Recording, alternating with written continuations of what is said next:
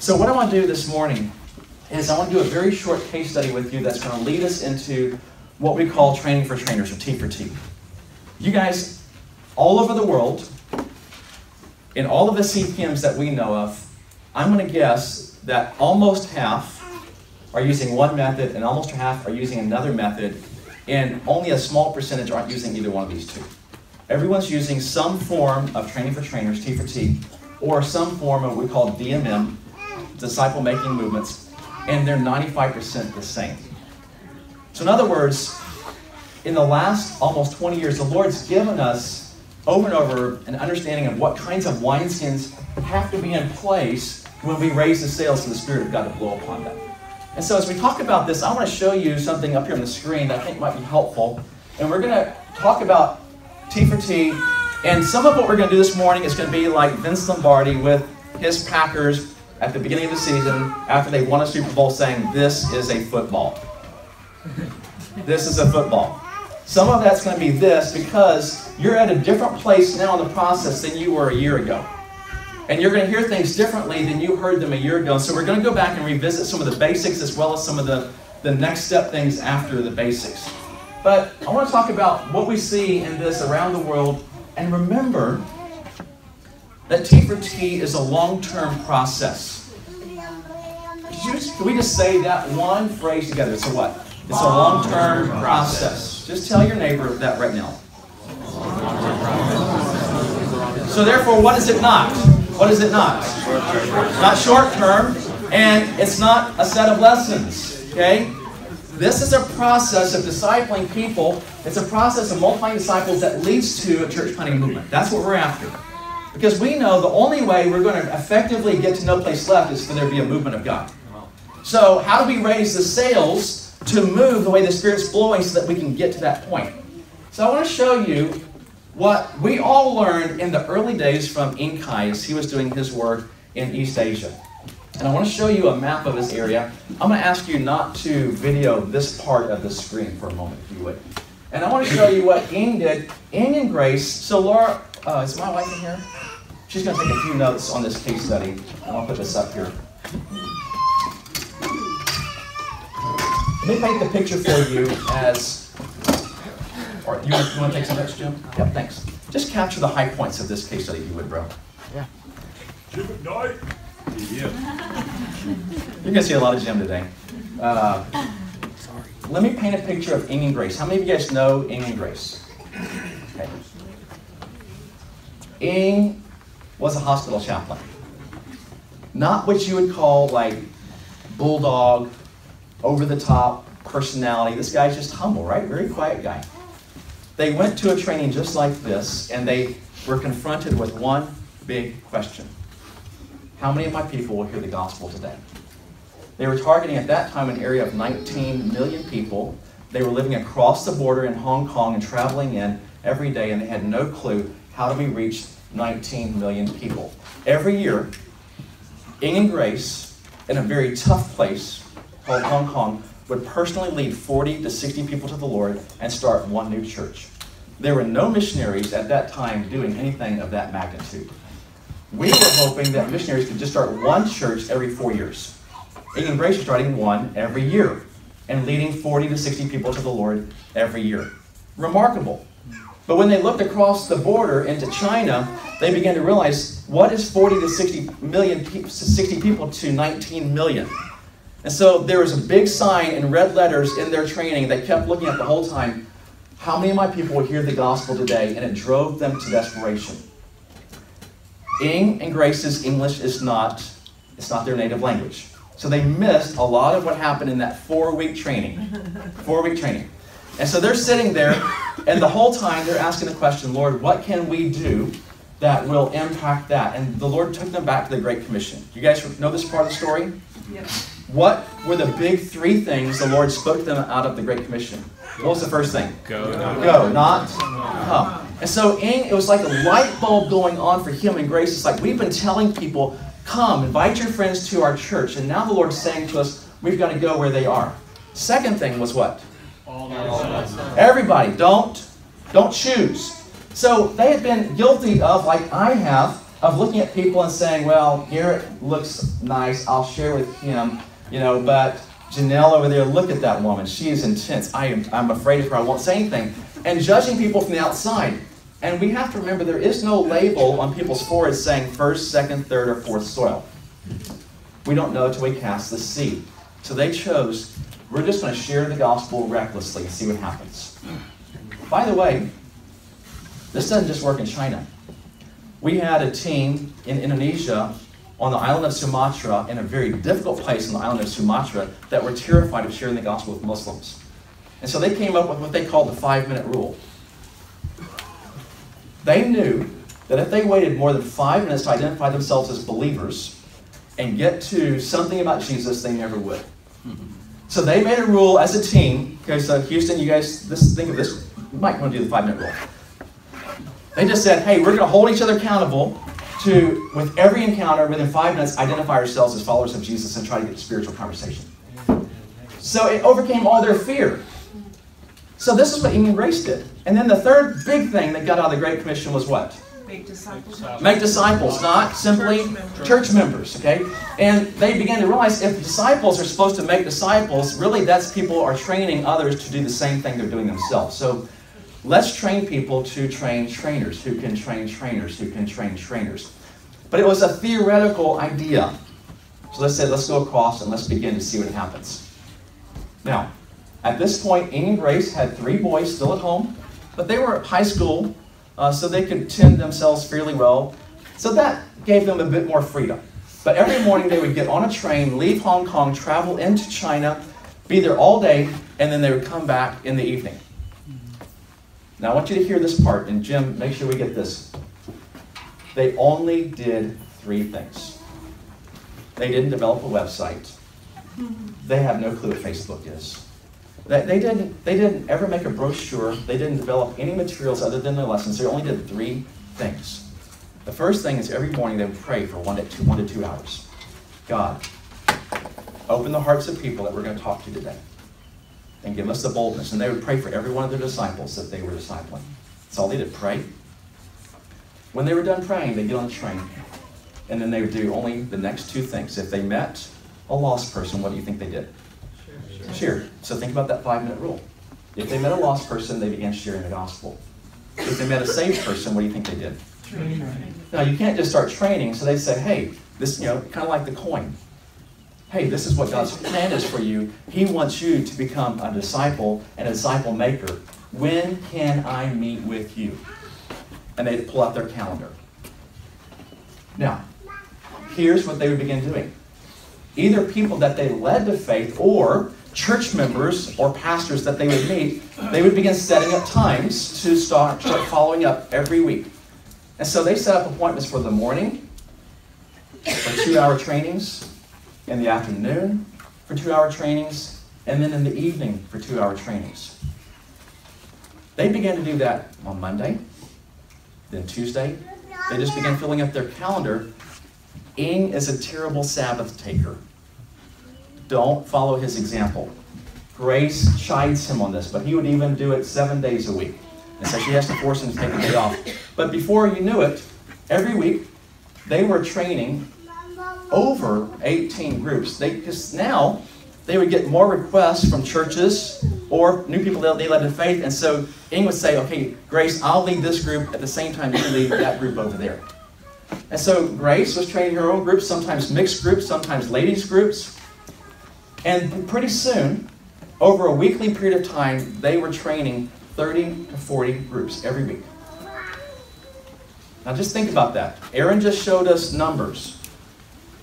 What's going to happen if you start training 30 to 40 groups every week? Exposure. Something's going to give. I promise you, you will find fourth soil. I promise you. And so I was thinking about those numbers, Aaron, you put up there. Yes, sir. Yeah, well, one thing I forgot to say is we accomplished all that in one hour. In one hour, exactly. So Aaron showed you how many were green lights. Now we have to ask the question how many green lights are going to become people that will be like fourth soil bearing fruit? Not all of them will. But we got to find the green lights first, right? So they began doing that, and then let me tell you what happened. They ran out of time slots on their calendar. So does anybody remember how they solved that problem to begin training more groups than the 30 to 40? What they? Shifted to every 15 days. Okay, so every other week we're going to meet with you, and that freed up their disciples who had very busy lifestyles to say, on the opposite week, at the same time slot, you train somebody. So if we're meeting Monday nights at 7 p.m., this week I meet with you, next week you train someone else. The same thing, just what I did the week before, you do with them. And before you knew it, they were training 60 to 70 groups over a two week span of time. Now, around your tables, I want you to ask, answer this one question just from that little tidbit before I show you any maps. What is there that you learned from what Ying and Grace were doing when they left their training? What are some applications? Now, if I were going to guess from my interactions with Ying and Grace over the years, my, my understanding is probably the greatest results came from existing believers they met. A lot of results came from people they personally led to faith, but sometimes they would meet, this area is filled with factories. I mean, if you've got Nikes on, they're made there.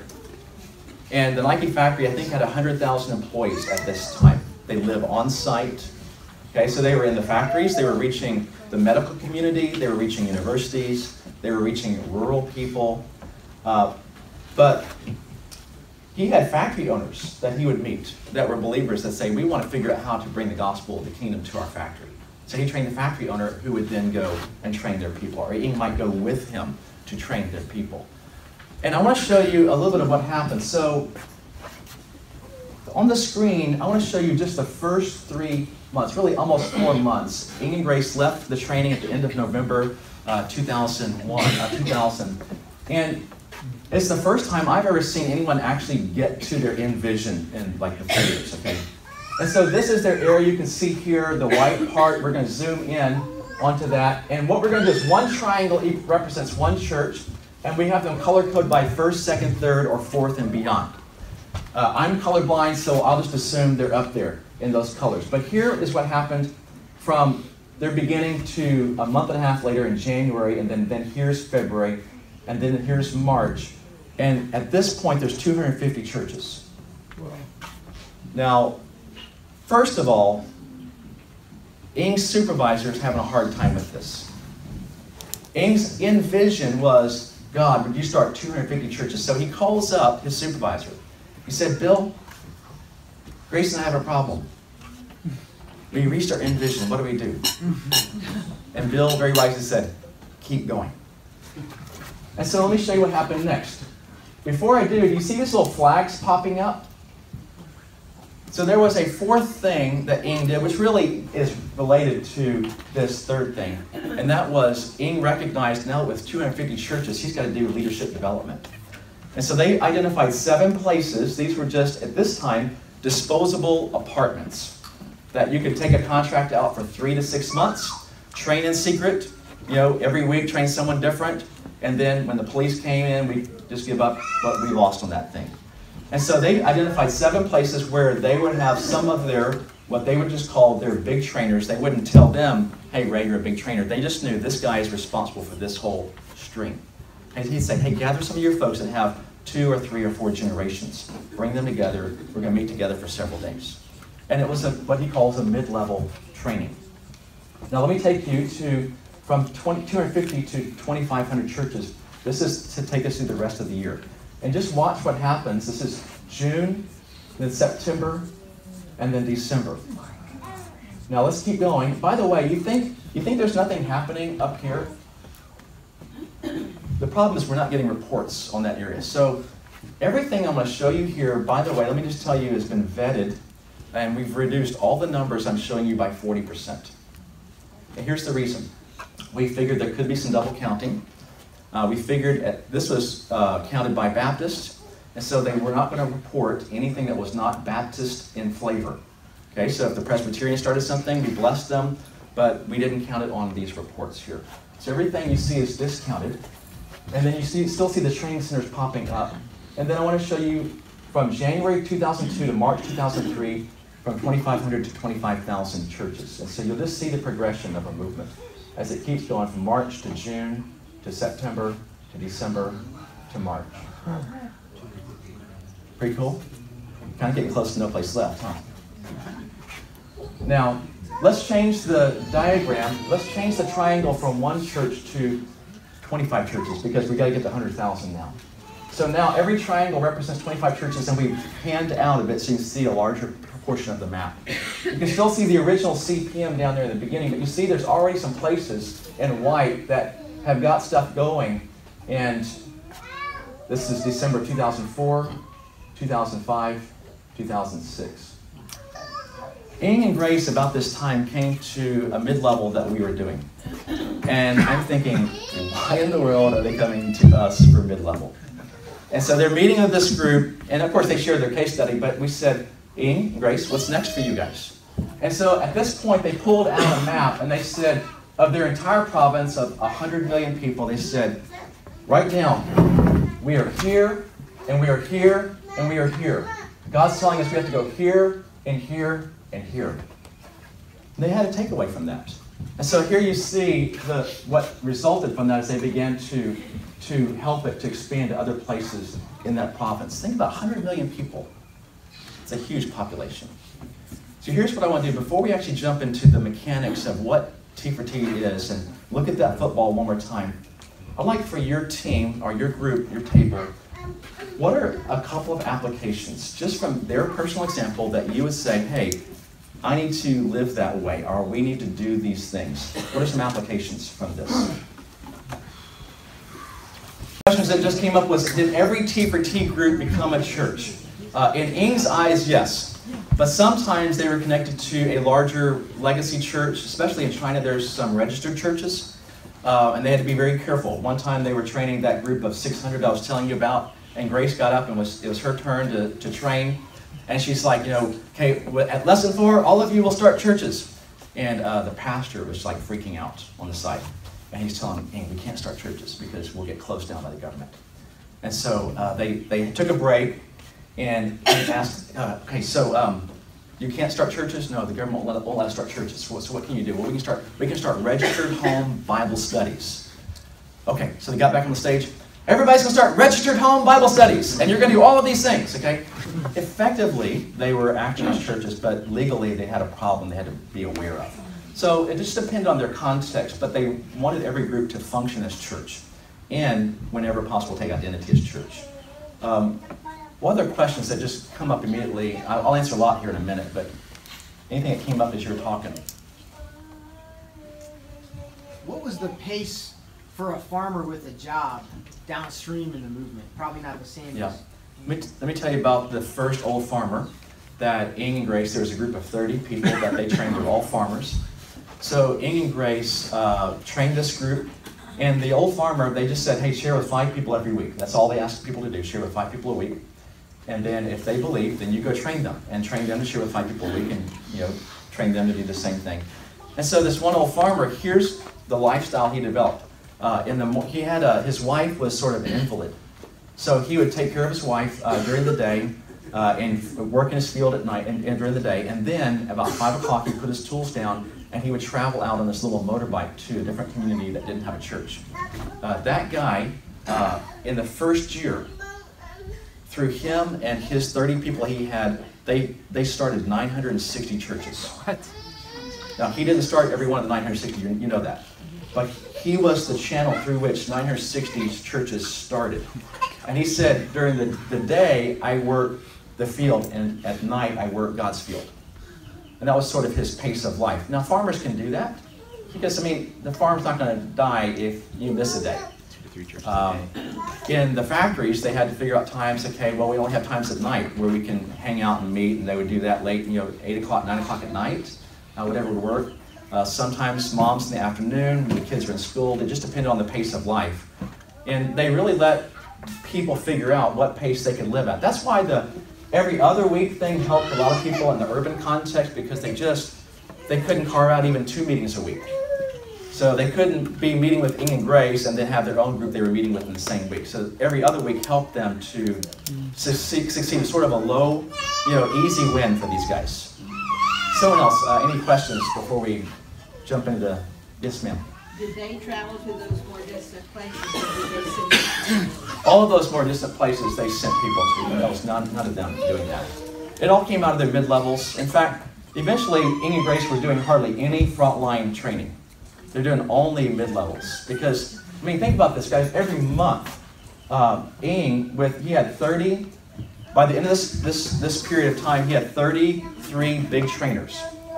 Each of these 33 big trainers with almost 2 million believers total. So you do the math, each one's over, you know, several tens of thousands of believers. And so these guys then are helping to oversee all of these mid-level trainers. And so Ying's only spending his time with the big trainers and the mid-levels. And then eventually he's only spending his time with the big trainers. because he's facing himself out and Ying's not involved with this at all anymore. This is its own thing.